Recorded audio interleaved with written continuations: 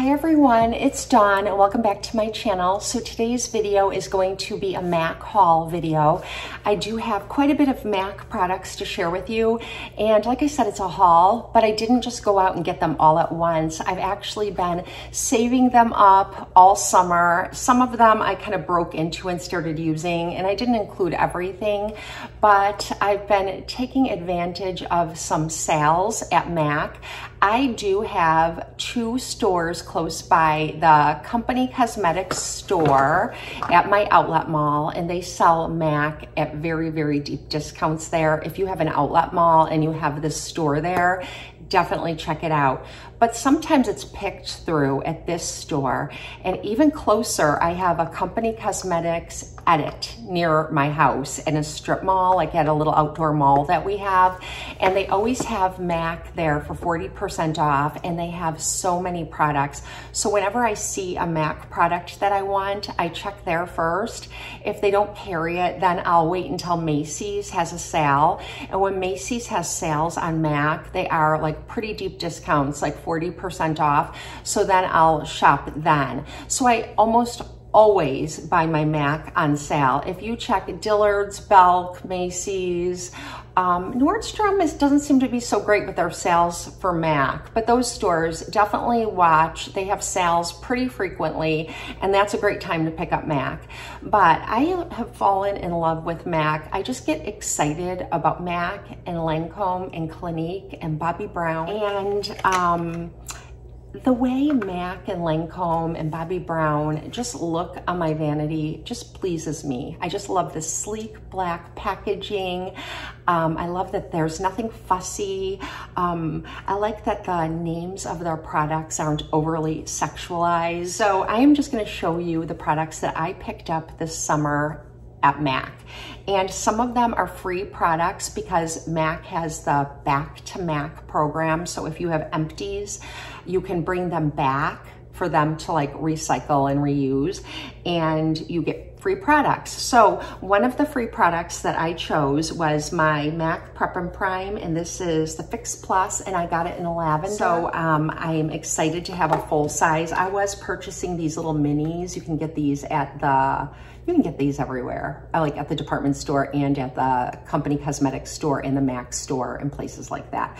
But this is nice for travel or like in your purse. So if you're not familiar with this product is, a lot of people think it's a setting spray, but it's actually a multi-use product, multitasker. It's really a hydrating product. So if before you put on your foundation, you mist it over your face, and these are really nice because they lock and the mist is very gentle. It doesn't spray, it mists. So it's really nice. And so you put it on your face prior to putting on your foundation and it will hydrate your skin for your foundation.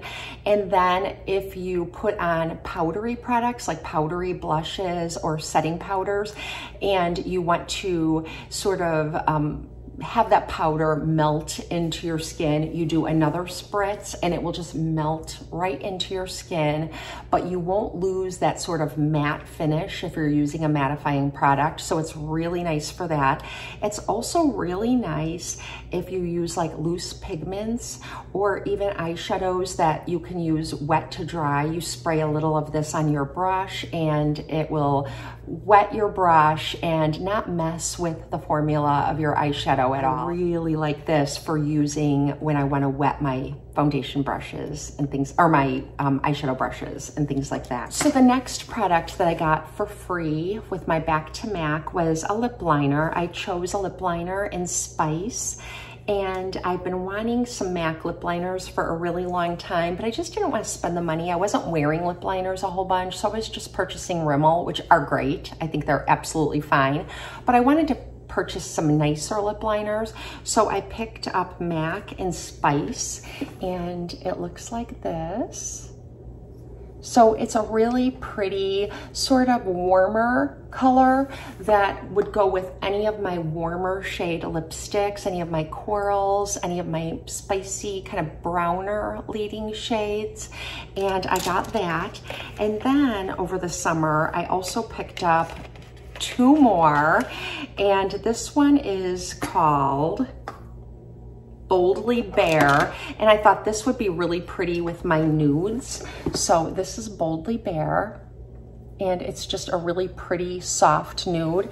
On the camera, it looks like it's like here, it looks like it's translating kind of a coral, but it's not. It's just sort of like a nudie pink like it looks like here. And I did recently order a third one from Macy's when they had a MAC sale. It could still be going on, so check Macy's or Belk or Dillard's. But I ordered Dervish, which is more of a mauve, so that should be coming in the mail. So I'm excited to get that one because I really like them a lot. This is not new. I just put it in the bag to show you. This is my favorite foundation from MAC and it's the Studio Fix Liquid and it does have an SPF 15. I've used this in videos before and I love it. The only thing that I don't love is that it doesn't have a pump but at the Edit, the company cosmetic store Edit, they sell all these little MAC accessories like a sharpener for your eyeliners and your lip liners, and then a pump for your Studio Fix fluid. So I'm didn't put it in until right now. I just opened the package and I'm so excited. I love having a pump and I never purchased a pump for this before. I always purchased a pump for um, my double wear from Estee Lauder, but um, it doesn't fit in the, this bottle. So anyway, I got a little pump for my MAC Studio Fix. So another video that Melissa55 made was using Paint Pot and Bougie as a one eyeshadow look and I thought it looked so pretty. I was so excited. I got it right away and it looks like this. It's a shade shifter where it's kind of green to burgundy or copper to burgundy.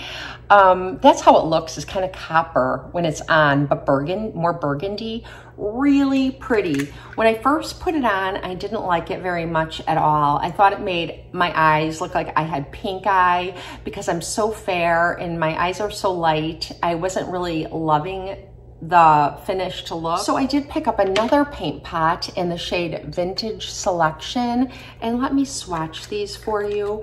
And I like them better together because I like to use this one more as an accent very long wearing. It's paint pot. We usually we use these, like I use Painterly and Ochre for my eyelid primers. So they really stay put. You need to use like a makeup remover to get them off. And this is vintage selection and it's really light. So what I've been doing is taking vintage selection, which is sort of um, a brownish um, gold shimmer silver shimmer, brownish silver maybe. It's so hard to describe. This is what it looks like in the pot. It's definitely a shimmer and this together. And I have them on today together. I have Bougie in the outer corner and I have Vintage Selection everywhere else. And they're really, really nice together. And I wanted to try another one that was a matte, that was colored, not like Painterly, which is a nude, or ochre, which is kind of a yellow leaning nude. I purchased Art Thera-Peachy, and it's a peachy nude, and it looks like this.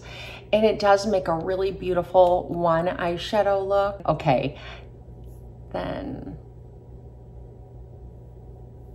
this one is just a matte. It doesn't have any shimmer to it. And I thought this one would also be really pretty with Vintage Selection because this is a matte and I could wear it all over my mobile lid and up through the crease. And then I could just put a little Vintage Selection over it in the middle, like as a spotlight. So that's really pretty too. The paint pots that I have.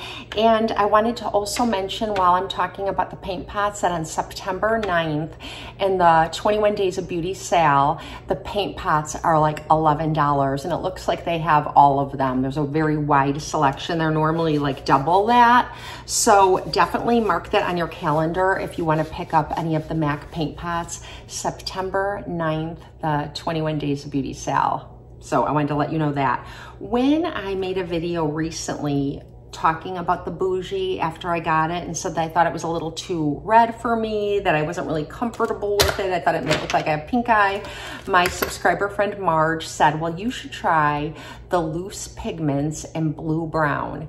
And she said it's kind of the same look, but instead of being red and greenish like that or copper, it's blue and brown. So I did pick up the loose pigments and this is in blue brown and you could use these dry but these are also where your fix plus and your makeup eye makeup brush come in because you can use them wet as well and the fix plus is a great way to use these. So this is blue brown and I'm going to swatch that right here on my wrist. So instead of being red and green or copper, this is like brown with a slate blue twist and I love it. It is so pretty for a one eyeshadow makeup look.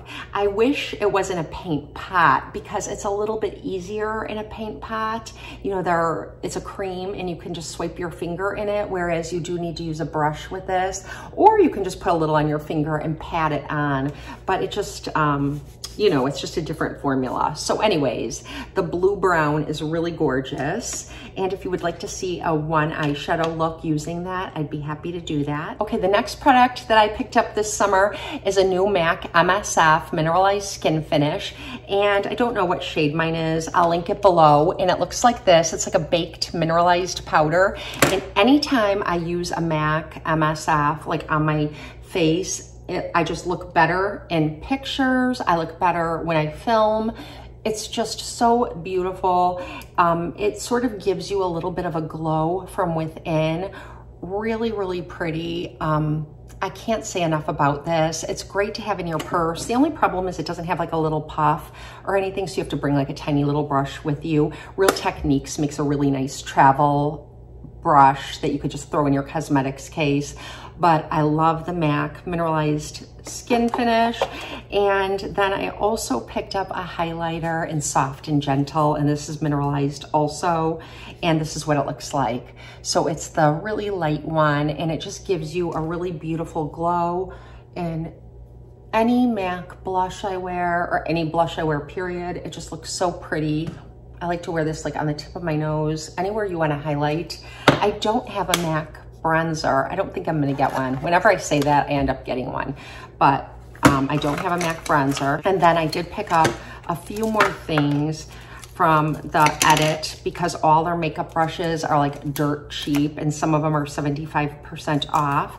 So I'm gonna tell you which ones I got. I didn't even take them, some of them out of the package yet because I wanted to share them with you. This is the MAC 221S and it's just a really nice um, shader brush. It's not super puffy. It's just like your nice shader brush. And then I got the MAC 218S, and it's like your cone-shaped crease brush. And I'm really excited about that. And then I also got the MAC 239S. And this is just sort of like your flatter, more nubby, smudgy brush, or for like putting down color here in the outer corner. It's really good for that. And they just fit so perfectly. I really wanted to get a MAC 217 and they didn't have them. And I didn't want to pay full price looking around for it online. And I couldn't even find it very easily online at Macy's. I found it from like third party sellers. And then there was a big markup, but I did read that a dupe for the MAC 217 is the Sigma E25 blending brush. And it's just your fluffy blending brush. Again, I didn't open it because I wanted to show it to you first. Sigma has a two-year warranty and actually they're a lot cheaper than MAC brushes if you were to pay full price. I think I paid like $11 for this. Sigma brushes are pretty affordable. So this is supposed to be a dupe for the 217 and this is just like your really nice kind of fluffier blending brush as compared to, which one? this one. So you can see this one's a lot larger. So these are the brushes I picked up. So I got a nice set of eye makeup brushes and I'm gonna look into more Sigma brushes because they are more affordable than MAC. Like if I can't find the ones I want at the outlet store, then I will go with the Sigma. Um, the other thing I wanted to share with you is that when I got one of the paint pots at Macy's, it came with a free gift, and the free gift was a Lorac Pro Party Ready palette. Macy's has all these really nice deluxe samples. When they said it was a deluxe sample, I don't know what I pictured, but I didn't picture this. It's in like a nice little case and whoops, and look at this. It says it's a party palette, but I think this would be great for every day. I was like super excited about this. So Macy's does also have, when they have their, um, some of their products, so I got most of them on sale, and I don't think you get great free gifts with the sale, although you can add on other products like from Clinique and things like that for a discount, like a little Clinique travel pouch full of cosmetics, little cosmetics like the Black Honey lipstick and maybe an eyeshadow and a makeup remover for like $10. But when they don't have their products on sale, if you're gonna pay the full price, they will often give you a really good deluxe sample. I think that's probably true for Belk and Dillard's as well. So those are always worth checking out when you're buying your Mac. So anyways, that's all I have for you. This video is so long, I didn't want it to so be. Do you have a favorite Mac product that you love or something that you'd really like to get? Don't forget about the September 9th sale at Ulta, 21 Days of Beauty, the paint pots. And um, yeah, thank you for spending some time with me. I hope you have a blessed and beautiful day. I'll see you next time.